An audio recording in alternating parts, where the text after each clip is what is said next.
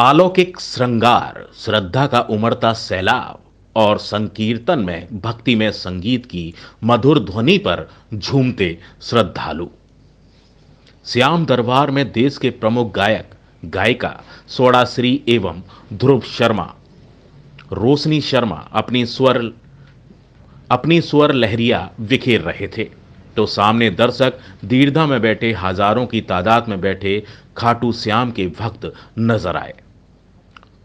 आपको बता दें, सोमवार को एमडी जैन कॉलेज ग्राउंड जहाँ श्री श्याम लाडला परिवार की ओर से श्री श्याम महोत्सव के उपलक्ष्य में श्री श्याम संकीर्तन और दिव्य छप्पन भोग का आयोजन किया गया।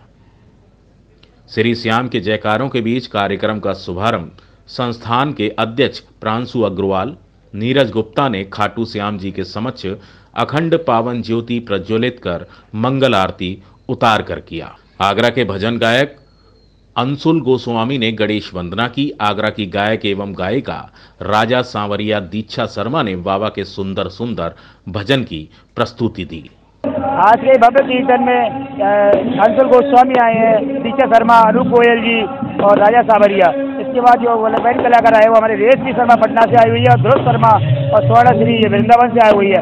आज कीर्तन रात को दो बजे तक चलने वाला है। विशाल भीड़ काफ़ी इंतज़ार कर रही है कि ध्रुव शर्मा और ईश्वर के लिए इंतज़ार में लगी हुई है। कब उनका नंबर आए, कब लोग देंगे पूरा आगरा ललायत है इनको सुनने के लिए वृंदावन से आए हुए कलाकारों के अग्रवाल, आज श्री श्याम लाला परिवार द्वारा चतुर्थ वार्षिक उत्सव M D N ground Hariparvat Agra में किया जा रहा है। जिसमें आज बाबा का भक्त श्रृंगार क्योंकि बाबा के कलकत्ता के कारीगरों द्वारा मेरा के श्रृंगार और रतन जड़ित पोशाक तैयार कराई गई है। बाबा का भक्त छप्पन भोग, बाबा की रसोई, छप्पन भोग का आयोजन सफल तरीके से किया जा रहा है, जिसमें हमारे गायिका, भजन गायक श्री वृंदावन धाम से स्वर्णाश्री जी एवं पटना से हमारे बीच देश समाजी कुछ ही समय में हमारे बीच पधार रही हैं। आगरा से आगरा की आन बान शान राया सावरिया जी, दीक्षा शर्मा जी, मेरे बड़े भाई अनूप भैया जी अंशुल गोस्वामी जी, ये भी बाबा को मीठी मीठी भजनों से बाबा को जाएँगे।